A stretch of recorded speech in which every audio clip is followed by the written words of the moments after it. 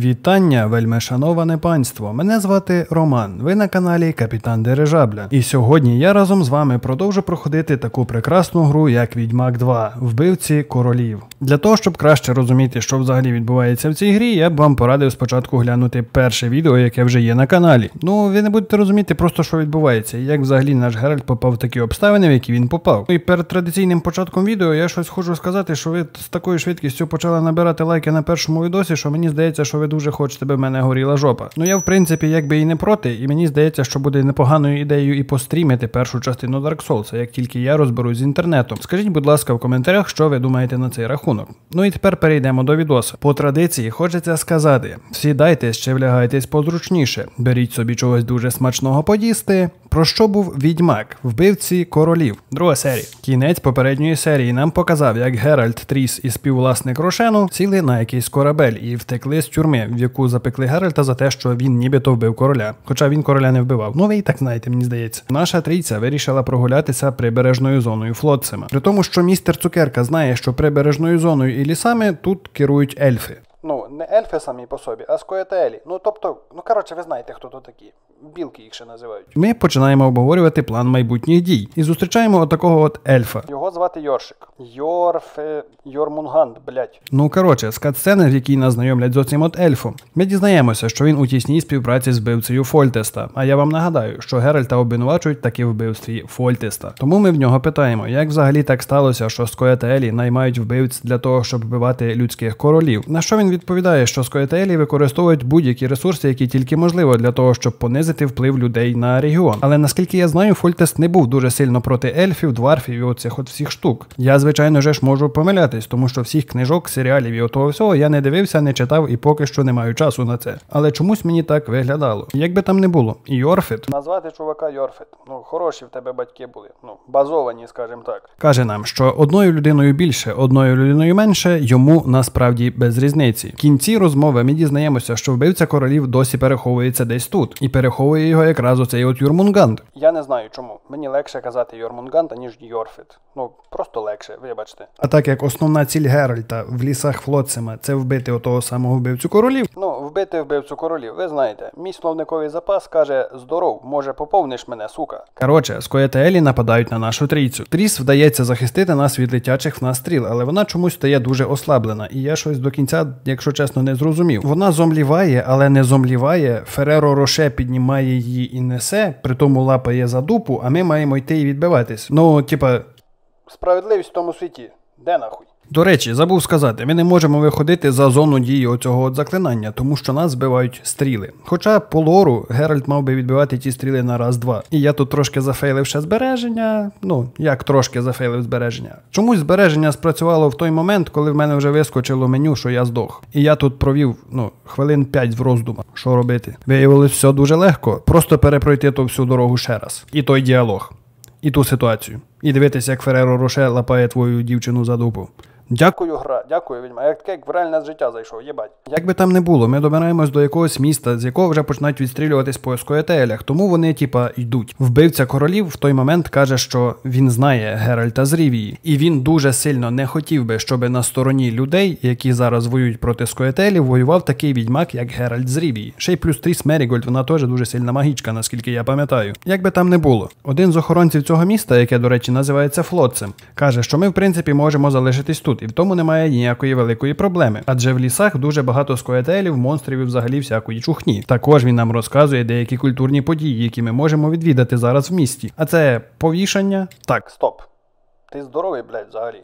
Ну, я думаю, в ті часи повішання було культурною подією. Саме тому зараз ми з вами відправляємось на страту. І на страті ми знаєте, бачимо кого? Наших улюблених Бібу і Бобу. Ну тобто Любистка і Золтана. Ну я розумію, за що хочуть стратити Золтана. Ну він дварф, типа тут не дуже люблять скоєтелів. А якщо ти дварф, то ти зразу скоєтель. Ну коротше, в них так працює логіка. Але Любистка, за що? За те, що він веде безпорадне сексуальне життя? Ні, стоп. Безпорадне сексуальне життя веду, напевно, що я. Бо тому що ну чого нема, то воно безпорадне. А любисток веде невпорядковане. Ну тобто він зі всіма спить. Він навіть сукубом колись переспав, походу. Ну так коротше, ми вирішуємо, що треба звільнити наших друзів з отого от полону, але спочатку треба придумати як. Я недовго думаючи підійшов до стражника, сказав: Чувак, звільни моїх друзів. На що він сказав ні. На що я відповів як адекватна людина, яка заступається за своїх друзів.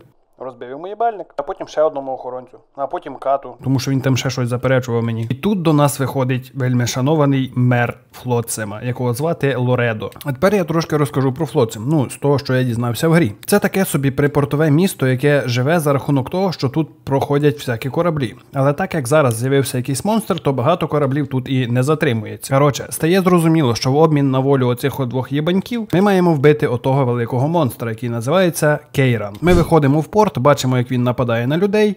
Насправді він нікого не зачепив, але ну вже як є. Відтепер нашим основним завданням залишається вбити оцього монстра для того, щоб рухатись далі. До речі, в порту ми зустрічаємо якусь жінку, яка також магічка, яку знає і Тріс Мерігольд, і Геральт з Рівії. Шила де трансвестит. А де трансвестит? А от трансвестит. Вибачте, будь ласка, Шила де трансельвіль. Її звати Шила де Сука. Де трансвестит? А вон трансвестит. Ну коротше, ви зрозумів, Шила нам розказує, що вона насправді взялась вбити оцього от Кейрана за певну винагороду. Тепер ми йдемо до купця, який пообіцяв їй нагороду. Торгуємось трохи з ним, і він подвоює її. Тобто в нас буде дві рівні частини. І тепер, думаючи, що я виконую якесь основне завдання, я зайшов в село до ельфів, де зустрів Мелану, на яку чогось напали оці от охоронці. Вони кажуть, що вона шпигунка. А я кажу: ну тоді дайте мені якісь докази, що вона шпигунка, і можете, в принципі, її забирати, якщо це так. Якщо це не так, то давайте я піду перевірю то, що ви кажете, що вона шпигунка. Коротше, виявляється, що ця Мелана заманила якийсь патруль охоронців в печеру для того, щоб скояти Елі їх вбили. Ми заходимо в ту печеру і зустрічаємо там величезне кубло накерів. І так як в мене не було ще срібного меча, то я з ними бився досить довго. Але яка різниця? Охоронців чи так чи так вбили не накери. Сумніваюсь дуже сильно, що накери вміють стріляти з лука, тому що охоронці померли від луків з Коятеелі. Просто прийшли, побачили, як скоятелі класно виглядають і вмерли від серцевого нападу. Ну, типа від луку. Мені погано. Ну, коротше, я вирішив не здавати все ж таки Мілану, може вона нам розкаже якісь хороші деталі про скоєтелів. Це виявляється не так. Ми приходимо, кажемо, що нам потрібно тепер нагорода за те, що ми вбили гніздо накерів раз, і за те, що ми врятували жінку, яка не видна, хоча вона насправді видна. Це два. Потім вона каже, що давай зустрінемось біля якогось водоспаду і там нормально поговоримо. Куди ми приходимо, на нас нападають накери, скоєтелі і Андрюхи. Ну тобто, Ендріага, Андрюха. Ну я думаю, що ви розумієте, як в мене будуються жарти. Вообще з ніхуя. Ну тобто, можна ж було сказати накер нахер. А чого я до того швидше не додумався? Господи Боже. Ми відбиваємося тепер по цій лінії завдання. Ми маємо знайти ту Мелану знов. На то завдання я взяв і успішно просто забив. Йдемо до ельфа, якого звати Сидер, в якого розпитуємо хоча б якісь деталі про Кейрана. Він розказує, де жив той Кейран і взагалі що з ним відбувалося. Разом з Тріс приходимо на місце потопленого корабля. Там знаходимо всякі детальки, які нам потрібні і не потрібні, але я все рівно їх забрав, тому що мені вже 26 і я дід. також досліджуємо, що Кейран взагалі-то хворий,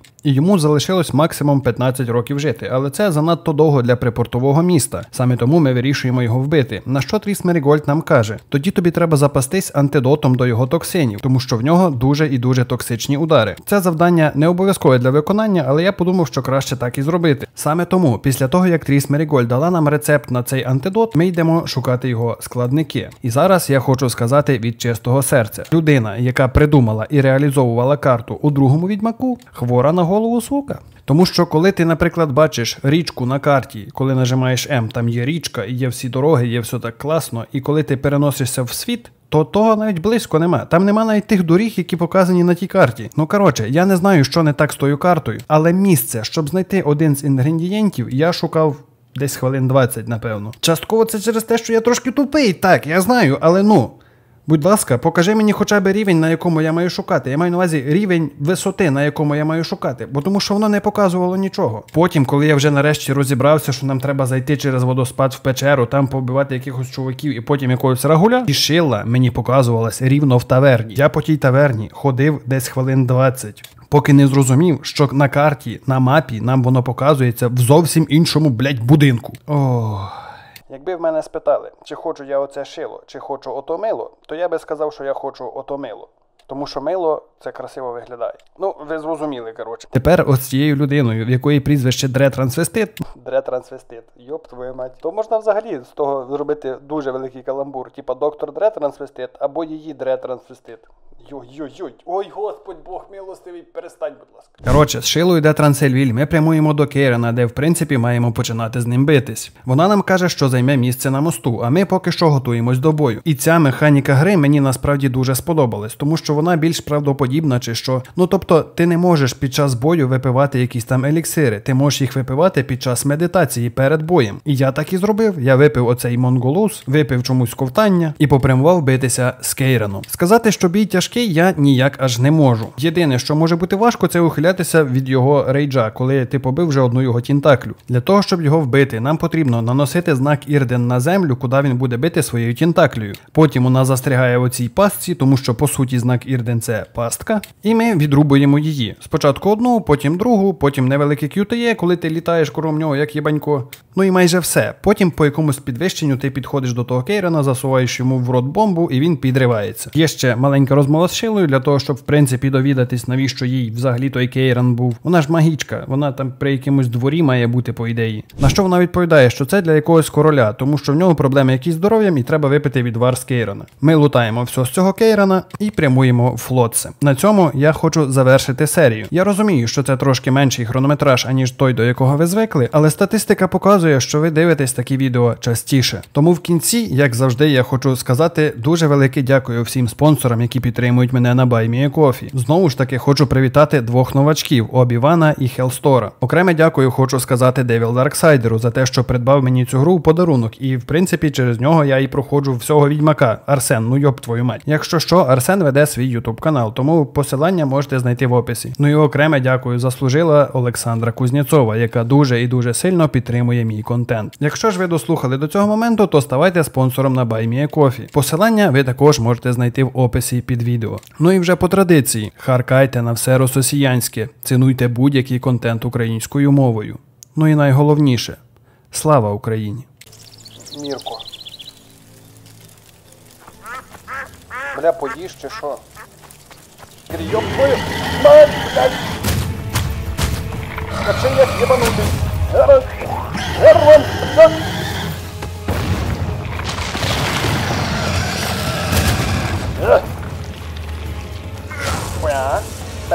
Ба-дам-бам-бам-бам-бам-бам-бам-бам-бам-бам.